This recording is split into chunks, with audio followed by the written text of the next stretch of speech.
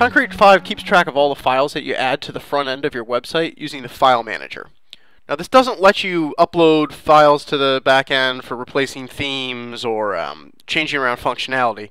Uh, this is how we deal with stuff that you're going to use in content or image galleries. It's all the pictures, documents, uh, any file that you're going to link to, all the stuff that your editors need. Uh, this isn't an interface for developers. You get to the file manager uh, through the front end whenever you need it, but you can also jump to the dashboard and then click File Manager here on the left and you'll see here's all the files that I've added to the website to use in editing pages. So I'm going to just show you some of the searching uh, capabilities and give you a sense as to how files are organized in here. Uh, the first thing you need to understand is we don't put files in a strict folder hierarchy like your Windows or Mac computer might. Uh, instead, we kind of follow what Gmail does, and we let files exist in more than one set. Uh, you can think of a set as a label or a tag. Um, files can be in no sets or many sets. So what I'm going to actually do, just to explain that, is pick a few of these guys, and just pick these images here. Uh, and you can see them from a thumb kind of view, they all have earthy red tones in them. So I've selected these checkboxes, which just gives me a multi-select. I go up here to this drop down, and this lets me do stuff with the files I just checked. So I'm going to hit sets. And we haven't made any sets yet, but I'm going to make one and call it reddish pics. Okay, so now we've got a new set. These three pictures are in it. And just so it's simple, let's make one for these two greenish pics.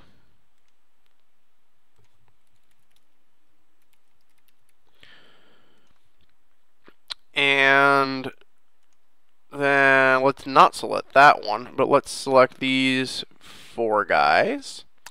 And we will call all four of those header images.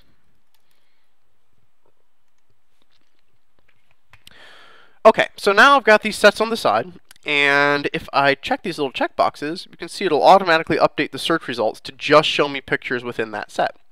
So here's everything we defined as a header image. Let's uncheck that. Here's just reddish pics. Here's just greenish pics. Now where this gets really interesting is if I start to do multiple selects. So here are everything that is a header image and a reddish pick. So we could start to find all of the images on our site, put them in a reddish category, uh, and then find just things that match both of these sets.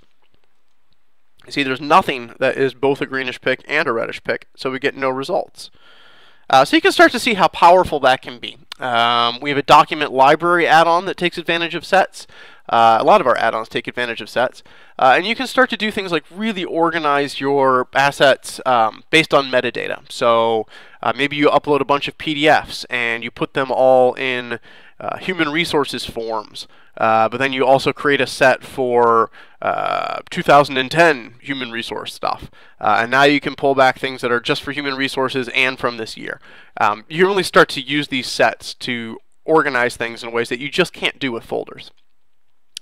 Um, this little interface right here lets you do a substring search on the sets. So if you start to get a lot of sets on a really large site, this makes it a little bit easier to, um, to manage that.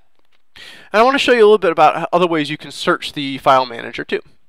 Um, we've got this basic search field, which is pretty obvious and simple. Um, it's going to search various fields that it finds. In this case, it's, it's returning back inner from the title of the images. Uh, but there's this little plus, and this shows up in different search interfaces uh, throughout Concrete 5. If you click this little plus, you can add more search criteria to your query. So I added a row, and let's see what my options are. Uh, you got the size of the file, the type and extension, when it was added. Uh, you can even pick a specific page it was added to. Um, you've got all sorts of options here. And in fact, if you start to add custom attributes, which uh, we'll do another screencast on, you can limit search results by them as well. But let's just show you how this works with size.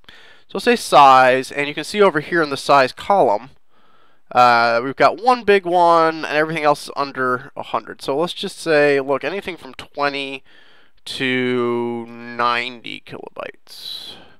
And we'll search. And yeah, we got rid of a couple. Um, now let's show me stuff that's only in greenish and matches those criteria. Uh, if you want to have more than one limiter, you just hit plus again, and you can keep adding these. Uh, you can add as many of these as you want.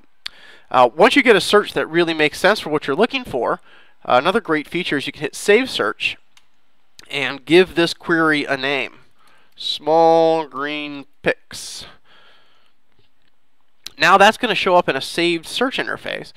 And when you come back here next time, it's really easy to say, well, just show me stuff that matches this search criteria, and it'll load everything up exactly the way you had it before.